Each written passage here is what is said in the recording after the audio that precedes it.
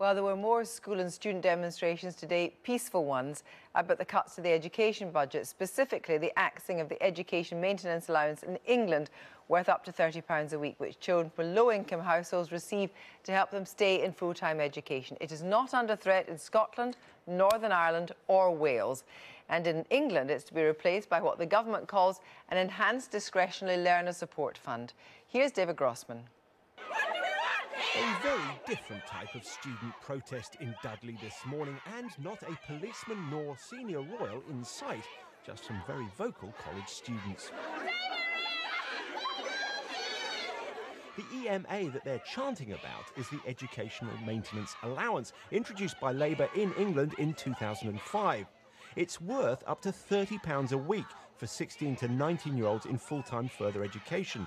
To get the full whack, your family income must be under £21,000 a year. At Dudley College, of the 2,500 students, nearly 8 in 10 qualify. Here in the West Midlands, we have a you know we have some real difficulties because the jobs simply aren't there for young people. So coming to education has helped them prepare for the jobs when they come on board, and also helps them develop their skills. Now, the group who will be disadvantaged by the removal of the EMAs are those young people who are less likely to want to participate in education. They come from the poorer families, they come from the families where the support isn't necessarily there. So as we take EMA off that group, what we are doing is we're actually really hitting the worst off in society hardest first of all and that doesn't seem to be the best way to ensure that all of our young people are engaged in education. The EMA is aimed at keeping young people in education past 16, and in 2009 to 10, 643,000 were paid the EMA. That's about half of the age group in full time education. But research suggests that for the vast majority, the EMA made no difference to their decision to stay on. Only 6% said they would have dropped out without it. That means it costs the taxpayer over £15,000 a year per student who decided to stay on because of the EMA. At the moment, it's being uh, the 560 million pounds is spread across a, a large number of people, 90% uh, of whom our research says uh, would have stayed on in, uh, into the sixth form or college uh, regardless of the EMA. And what we want to do in these very difficult financial circumstances is to target that money uh, on those young people who are in greatest financial need. As well as more targeted help, the government is introducing the pupil premium. That's an extra £430 a year paid to schools for the most disadvantaged students. At the Institute for Fiscal Studies, they've been looking at whether this earlier help will give more value for money than the EMA. Educational research does tend to highlight early intervention as an important area to focus um, investments or improvements because in intervening early can drive larger and sustainable improvements in children's outcomes. However, when we've looked at the pupil premium, uh, the research that we have done has suggested that it will only have a very modest effect on educational attainment, and that's because the research into the importance of additional money has tended to show that that doesn't really drive improvements in uh, education attainment, at least not on a substantial level. Meanwhile, at number 11 Downing Street, some very young looking students staged a sit in. Actually, the Chancellor was hosting the Children's Christmas Party, complete with dancing fairies, cartoon monsters, and the Mad Hatter. This year, of course, there is no confusing the Chancellor with Santa Claus, but amongst all the cuts, he was at least promising a real terms increase in school spending for England. But we learned today that is a trick he hasn't pulled off. I'm impressed. What was announced to be a 0.1% increase in real terms school spending will now be a real terms flat uh, settlement for schools, which means that the total amount will be going up uh, in line with inflation, but not going up any faster than inflation.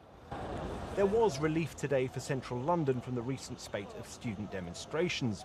What was billed as a mass protest outside the Department for Business actually attracted just a couple of dozen, and they were successfully corralled on the other side of the road.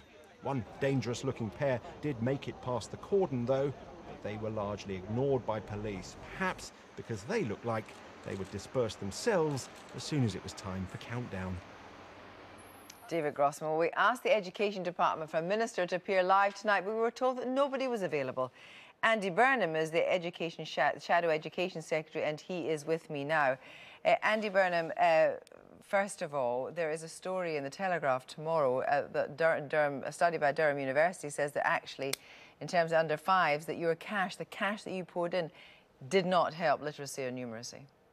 Well, I've not seen that study, but I don't accept that. Standards uh, raised uh, across the board under under Labour, and particularly uh, amongst uh, younger younger people, particularly in the in the early years of education. So I'll have to look at the detail, mm. but quite frankly, I think I would uh, I would challenge that uh, finding. Uh, let's just look at EMA, particularly mm. education maintenance, which is staying in Scotland, Wales, and Northern Ireland.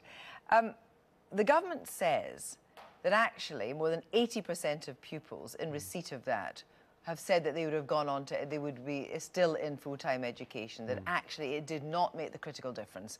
And this way, they're targeting money much more closely on need. Well, the EMA is one of the policies that I'm proudest of of our time in government. It sends a powerful message to families and children, particularly from less well-off backgrounds, that they could have high hopes of what life might deliver for them. And I think this cut is an attack on aspiration. Let me just deal with your point explicitly. The IFS tomorrow will say that the EMA more than pays for itself. Now, this completely demolishes the threadbare argument that the government have put forward because, you know, even on the government's figures, around 90,000 people are staying on in education who wouldn't otherwise if there wasn't EMA. But for those, for the rest, it's both encouraging them to complete their course and achieve better results. So the EMA according to all of the evidence, is a success, and the IFS will say so pretty convincingly tomorrow. But in fact, what the government is saying is that it's actually going to be uh, replaced by probably what will be an autonomous college-based discretionary fund, building on the Learner Support Fund, which has got 75 million in at the moment. Now, colleges can then target, so for example, a rural college, because a lot of councils have not stepped up to the plate with transport, a rural college can provide transport to help more young people get to college? Well, that, I'm afraid is just a nonsense because you know, we're talking here of a much reduced scheme, possibly about 10% of what uh, is currently spent on, on EMA. And of course, EMA is used by many people uh, for transport. Because but, the local but, authority but, doesn't provide it. But, but young people can make that choice. And if they want to go to a college that's right for them and so they have to travel, they can make that choice. But more than that, Kirsty, EMA means for a young person uh, that they don't have to take a part-time job if they're not from a particularly well-off home. So they can focus on their studies, or it means they can buy more books or more equipment to support their work. This policy really is a lifeline for young people uh, from the least well-off backgrounds, and it's raised their sights about what life may uh, deliver for them. And the government they promised to keep it before the election. David Cameron explicitly said he would keep it. Michael Gove said he would keep it. But and this is an attack on only aspiration. Only 6% in David Grossman's report, only 6% said they would stay on because of EMA. Well, as I said, around 90,000 young people are staying on because of a... That, to put it in human terms, that's what it equates to. But that's not the end of the story. The government like to say...